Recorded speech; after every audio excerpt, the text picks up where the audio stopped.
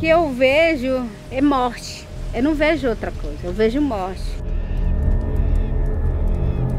É uma soja de matança, é uma soja de sangue, derramando de sangue. O que mais gera hoje assim, conflito né, é, destruição dos territórios né, e violência é a expansão da soja. Né?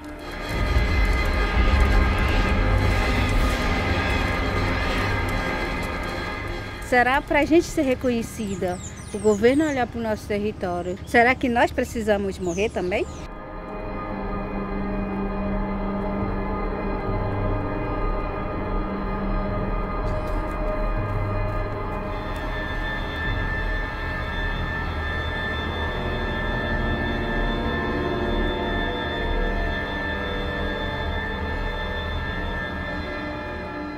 Essa reserva aqui é uma reserva APP do lago e depois do lago tem a reserva legal que é do assentamento 12 de outubro. Só que essa reserva aí foi ocupada. Tem muitos que estão utilizando da queimada para fazer limpeza. É um foco aqui, é outro ali, nós não estamos dando conta de apagar fogo. É muito fogo.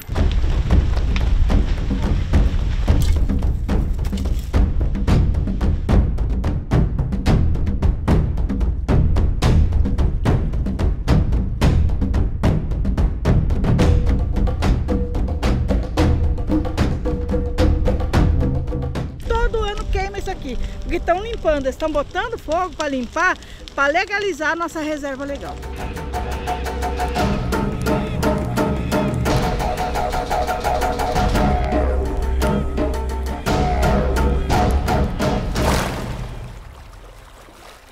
tudo que está acontecendo no Brasil tem sangue indígena, né? Tem sangue de quilombolas, tem nosso sangue, tem sangue das mulheres, tem sangue de crianças, tem sangue de jovem, tem sangue de cacique. E se nós não cuidar desse ecossistema, Mata Atlântica, do Cerrado, da Amazônia, todos vão sofrer, vai ter seca. País de primeiro mundo também tem sangue indígena, né? Tem sangue quilombola, porque é eles que estão comprando, é eles que estão financiando essas empresas que diz que é desenvolvimento verde, soja verde. Isso não existe. Para plantar soja precisa desmatar hectares.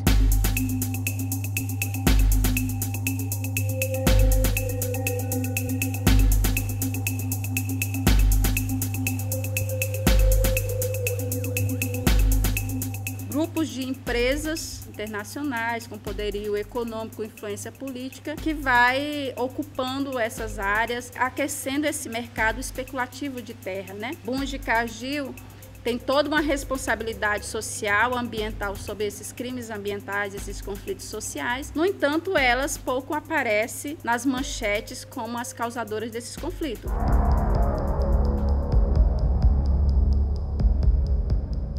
Tava aqui só olhando se o gado tava aqui na beira. Daí ele já saiu dali aquele ali, daí disse, tá me chamando? Eu disse, não, não tô chamando não.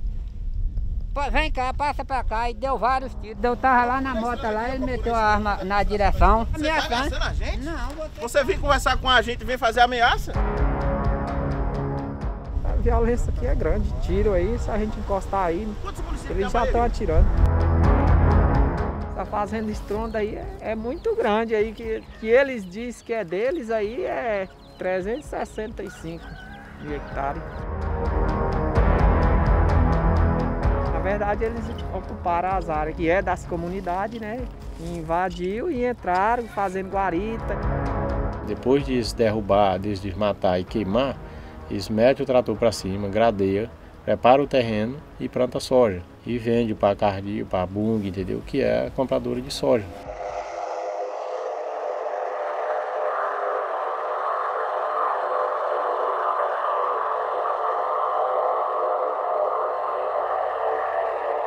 A gente sente cercado, né? Porque aqui a gente está no meio. Vem um fogo dali, vem da lado, a gente está no meio, a gente fica cercado.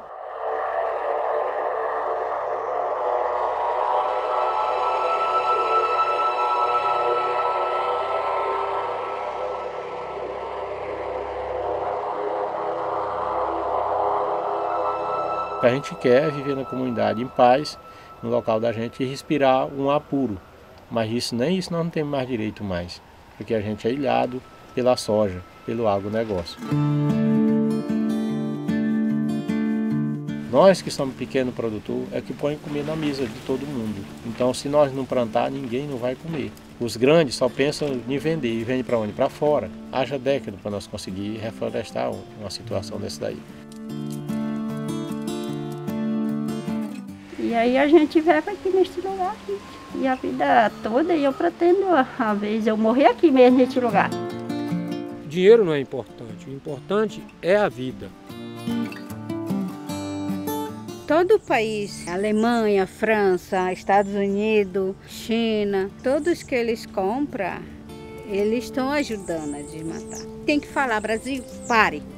Pare que você está indo demais. Se você não parar de fazer isso, a gente não compra mais nada do Brasil e a gente não vai fornecer nada para ir para lá. Porque vocês estão tá matando eles também.